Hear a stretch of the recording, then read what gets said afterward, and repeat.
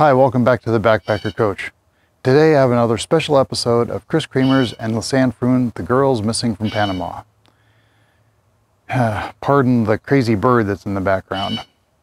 Anyway, um, for um, this video, we're going to go in depth into the night photos and kind of go down each rabbit hole of the different theories and whether they're possible, whether they're not possible, and what's kind of wrong with the different um, possibilities or different theories of, of the night photos.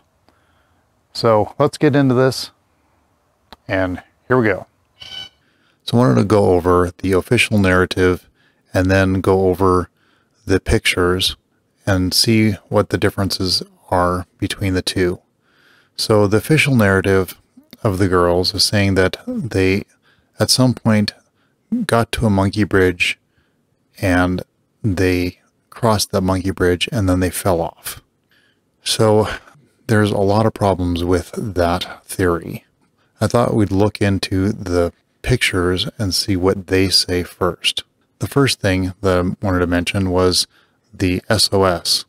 Now you can see the S pretty clear here and a part of the O and you can see the little mirror that's probably from a Pringles can and you can see the backpack strap. Now, usually when people set up an SOS, that usually means that is where they're going to stay. They don't usually venture far from that, or they probably won't move on from that. Now, that is kind of interesting, being that they would have had to move on from that. Now, obviously, one of the problems with this is that the SOS, it is kind of small. Usually you try to like, you know, make SOS much bigger but I guess that's all they had. A fair argument, but it's not a great argument. But I think really the bigger argument is the stick with the little tiny pieces of plastic on it. So if somebody really was stuck and they couldn't move, they were at the spot and they couldn't move, and they used this stick with the little tiny pieces of plastic to be able to signal or wanted to be able to signal somebody. So there's, I guess you could say there's two reasons for that, or maybe you could have three. But the first one, let's say that they couldn't move. So if you can't move or can't move very far, at least one of them is you need to be able to signal somebody by showing where you are felt like they were too too far down. So this is more of a question about the little pieces of plastic, but why did they break up the plastic bag? If you wanted to be able to have a large, you know, a red bag over a stick and be able to wave it in the air, you would have, you know, it's a good size, you know, bag. It's, you know, 12 inches by 12 inches, say. And so if you were able to stick it over a stick, then you would have quite the beacon to be able to wave around. So why would somebody just rip little tiny pieces of this bag and stick it on a stick. That doesn't make a whole lot of sense because, like I was saying, if you have a nice big gigantic bag, would show much better than a couple little tiny pieces. That could also mean that maybe they weren't using it for what we think. Maybe it was for something else. Um, maybe, you know, possibility of maybe they wanted to catch rainwater. But then again, you still would want to have the whole full bag sitting out there and not little tiny pieces of of plastic. And uh, like somebody had done research, they figure that those are only about four inches big. If that's true, I mean they're pretty small, and they do look, you know, they look pretty small. Now, here's the next problem. In the original narrative, they say that they fell off a monkey bridge few days later. Now here's the problem. If you're stuck here, wherever it is, you're not going to move. How is it that they're going to get up, still be alive for three more days, move somewhere else to find a monkey bridge, and then being hurt, probably say if they have a broken ankle or broken leg or something, you're going to tell me that they're going to cross a monkey bridge with being barely able to walk? That doesn't seem very likely at all. But there's another couple other things um, to mention about this issue. The first one is that if they did walk for wander around the jungle for for 11 days and they found a monkey bridge, why didn't they just sit down and wait for somebody to rescue them? I mean, that's one of the main things that rescuers always tell people don't move around. Now, that can always depend a little bit on maybe your situation, but generally speaking, when you're lost, they say hug a tree. And what that means is is you do not move. The more you move, the harder you are to find and the harder you are not able to track you. And so here's the next interesting issue about this this collage of photos. This has to do with more of the flash and how it was used or why it was used. So think about this for a second. They set this up, an SOS and a mirror. You're going to be using an SOS and a mirror during the day, number one, when it's light, as well as it's highly unlikely that they would have created this at night. So they were probably already at this place during the day. If they were at this place during the day, there's no reason for them to be taking pictures at one o'clock in the morning to try to figure out what's going on around them because they've already been there. And we don't even know how long they've been here. They could have been there, you know, day one, day two, day three, day four, day five, day six. We don't know. Knowing that they were at least here during the night and probably the day before because they have, they set up this SOS and the mirror thing and also saying that they set up that for probably the next day because then you have something to be able to signal. Why would you go away from that area? That makes no sense. One of the other interesting things is why don't we see any pictures of this during the day? There's no real reason for that. If they were stuck there during the day, you would think that there would be possibly some pictures. Why would they take pictures at one o'clock in the morning throughout the night? That doesn't make a lot of sense. As well as I was talking about before, if you're under this overhang here and you hang out underneath that overhang, you would be trying to stay, you know, stay dry, stay warm, snuggling with that person. And also remember that this is, you know, day eight. They more than likely don't have any food. If they're drinking any water, they're drinking the river water, which is not very good because it has, you know, obviously lots of giardia in it. And so that's going to give you diarrhea, which makes you even more dehydrated. Also remember that food is very important because it helps you stay warm.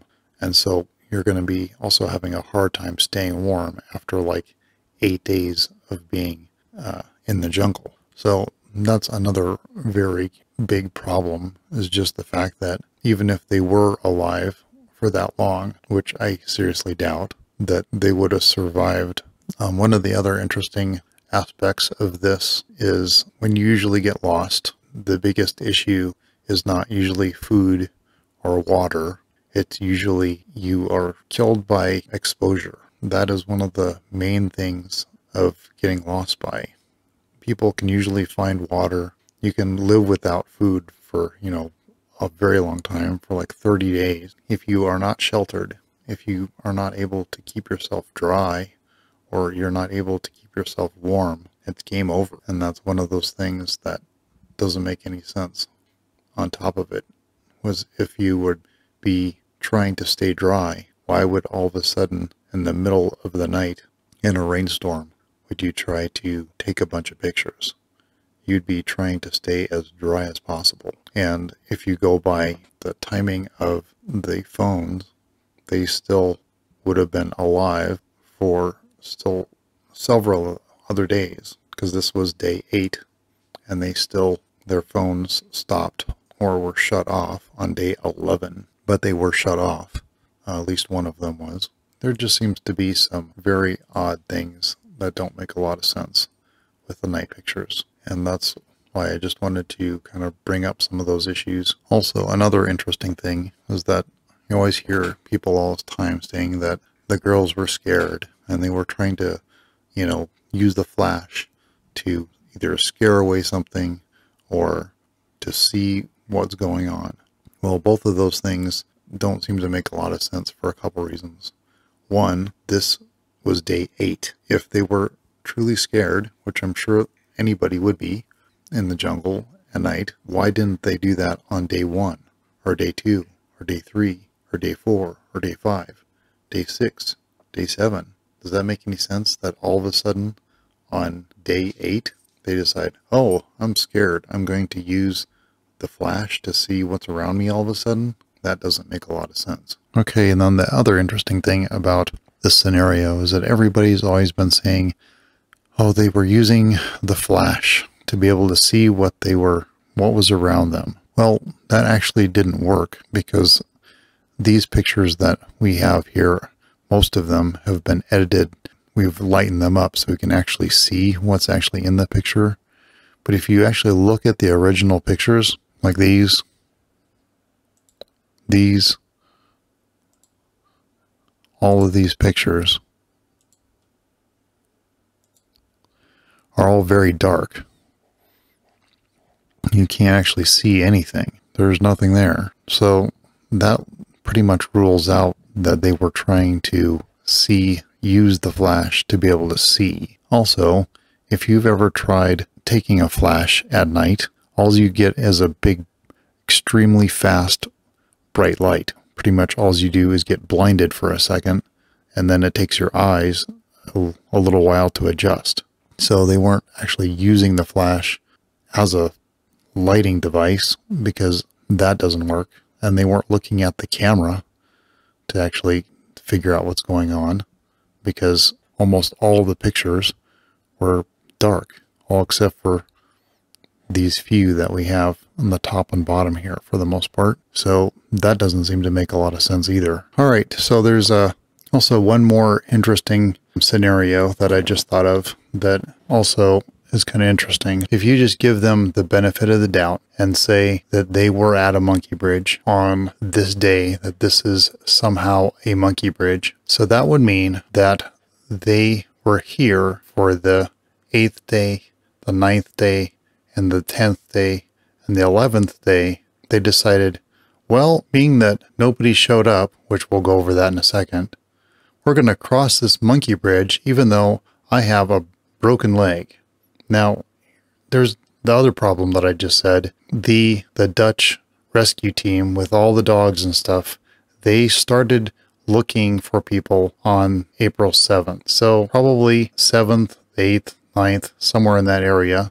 I would assume they probably were doing that for probably several days, I would guess. They were looking for the girls. Now, if they were looking for the girls, the 7th and 8th and 9th, and if this picture is true and they're at a monkey bridge and they can't move, then they would have been found because they were sitting there at a monkey bridge for three days or four days, whatever the case may be.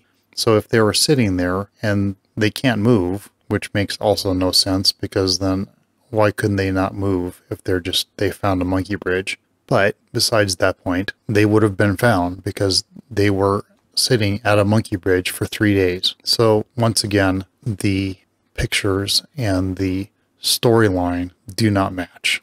So even though I don't believe the girls got lost and perished in the jungle, I thought this information is still actually is still very good to uh, still show you, and it's still very important for people who go hiking and still want to you know travel around the world and still stay safe in the case they get lost. So I just thought this was kind of per pertinent information. So uh, thanks for watching. Congratulations if you made it all the way through the video.